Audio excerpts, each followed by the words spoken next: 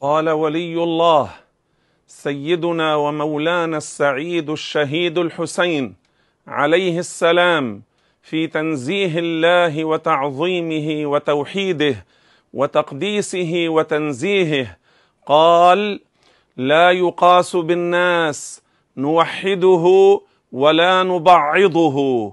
ومعنى هذا الكلام أن الله ليس كمية يتجزأ لا هو حجم صغير ولا كبير لا بقدر العرش ولا السماء ولا أوسع من ذلك لأنه خالق الكميات والأحجام فهو موجود ازلا وابدا بلا جهة ولا مكان لا يشبه شيئا من كل مخلوقاته.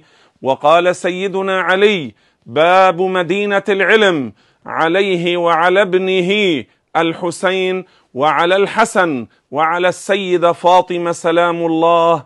قال رضي الله عنه وأرضاه من زعم أن إلهنا محدود فقد جهل الخالق المعبود. أي من قال أو اعتقد بأن الله كمية أو حجم أو جسم ليس مسلما. اذا احفظوا ما قاله مولانا السعيد الشهيد الحسين عليه السلام نوحده ولا نبعضه لأنه ليس جسما فلا يقبل التجزؤ ولا الانقسام. وقال ولا يقاس بالناس لأن الله ليس كمثله شيء.